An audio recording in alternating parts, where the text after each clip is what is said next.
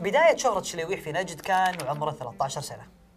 بدأ يركب الخيل ويقاتل ويدافع عن حلاله بشراسة.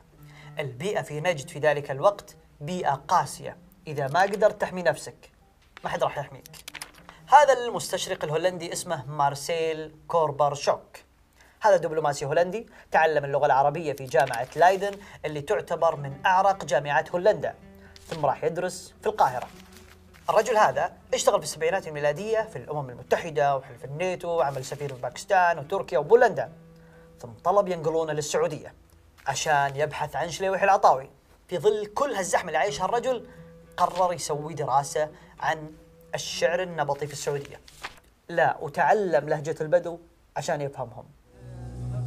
أنا وأخوي وخيتان وصلنا إلى القناة جايين على ظهور المطايا من العليم وجبل وورا الجبل في جبل اسمه أم سلمان. وهنا في جبل ضبعة قناة واسم القناة حسب ما سمعت ممكن يكون مشتق من القناة اللي في في نخيل العذوق مع التمر. تخيلوا هالهولندي يسمع قصايد البدو ويفهمها؟ وأنا الحين إذا جيت بشرحها لكم أحاول أفسر لكم بعض معانيها.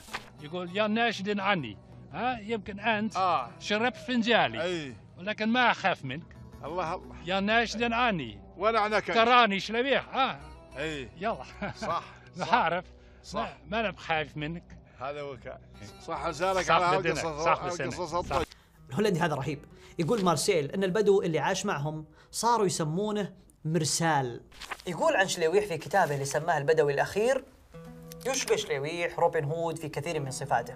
لقد برع شليويح في أعز فنين عند البدو وهما فن الغزوات وفن الشعر. يصف شليويح في قصائده كيف كان يدفع بعيره إلى المسير حتى في أشد ساعات اليوم حرا.